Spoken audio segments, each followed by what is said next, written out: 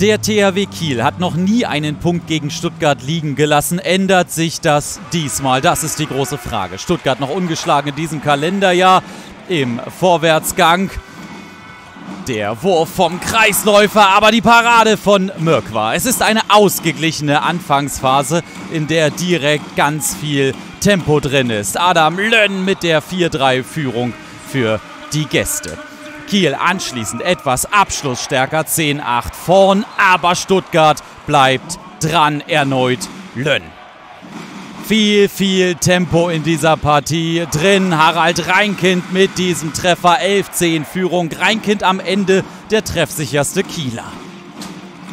Dann ist es ein weiteres Mal Thomas Mörkwa, der einen Wurf entschärfen kann. Trotzdem gibt es kurz darauf den Wechsel im Kasten.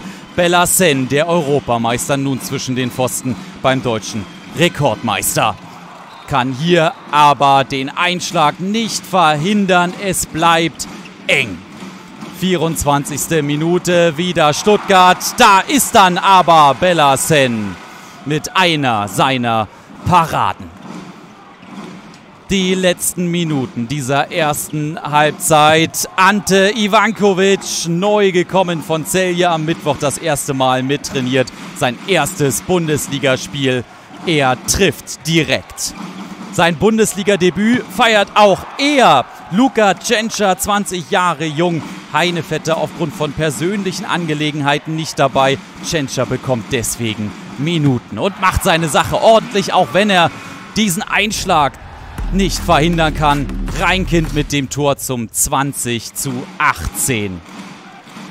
Rein in Durchgang Nummer 2. Die ersten Minuten sind entscheidend, weil Bellassen sich gleich mehrfach auszeichnen kann.